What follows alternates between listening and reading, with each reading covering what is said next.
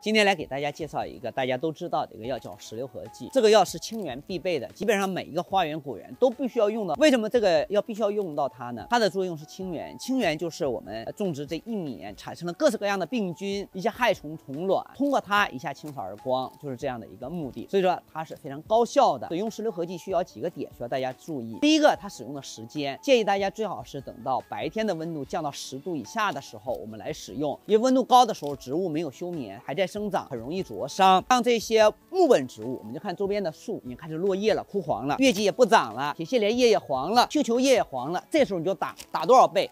五十到一百倍就可以了。高浓度打的时候，整个植株通体叫做全方位无死角，地面、花盆全部都要打到，甚至连你的廊架周边的墙体都打到才好，杀灭干净。草花呢，大家要注点意，比如说像铁筷子啊，然后花毛茛啊、角堇啊，我们在打这些的时候，千万要。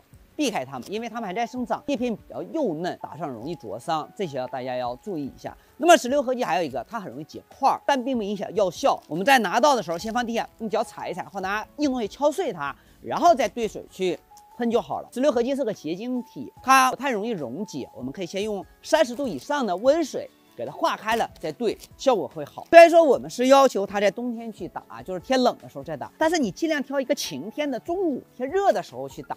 效果是事半功倍。入秋落叶之后打一次，冬天打一次，春天发芽之前再打一次，打三次，你上半年的花园里面基本上就是干干净净的。再提醒一下，石榴合剂是有种味道，硫化物的味道，所以说远离小朋友，戴好口罩。我是天狼，有空记得点关注，我们下期再见。